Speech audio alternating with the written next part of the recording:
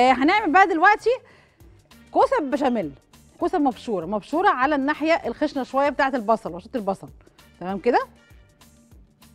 عندي لبن شوربة لحمة مفرومة بصل وفلفل دقيق توم زيت بيض شوية زيت. وأجيب بصلاية كده حلوة كبيرة شوية ملح شوية فلفل. أشوح البصل كويس وحطيت نص كوباية دقيق. حبة فلفل حلوين كده رومي. خلاص يعني هديها شوية شوربة كده. بسم الله الرحمن الرحيم. بصوا برده إزاي عشان ما كلكعش معايا. وأنزل اللبن بارد. أقلب لغاية ما يغلي معايا اللبن والشوربة دي. وأسيح كل الدقيق اللي هو آه يعني اللم معايا دوت. طيب حاضر. أدي كده بس أحط دي كده أهو بصوا البصل والفلفل. وهنزل اللحمة المفرومة. ممكن دي كفاية.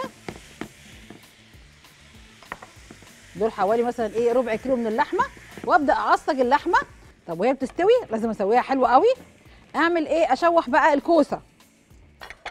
طب أشوح الكوسة إزاي؟ شوية شوية زيت صغيرين بصلاية وسط كده مش كبيرة قوي زي ما بنعمل كل مرة يعني.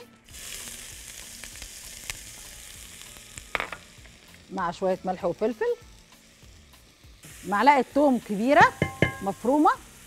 تاخد بقى دبلان مع الإيه؟ اهو كده بسم الله الرحمن الرحيم. مع البصل والثوم.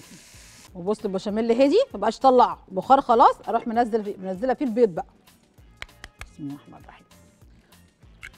هاخد شوية من البشاميل ده أنزله على الكوسة. بص الكوسة منزلة ميتها أهي مفيش مشكلة خالص. كبشة كبشة. مش هاخد كتير هما كبشتين بس. ألف فيهم الكوسة.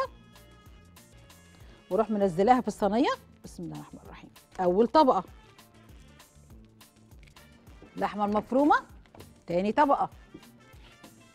أوزعها عليها بقى كده.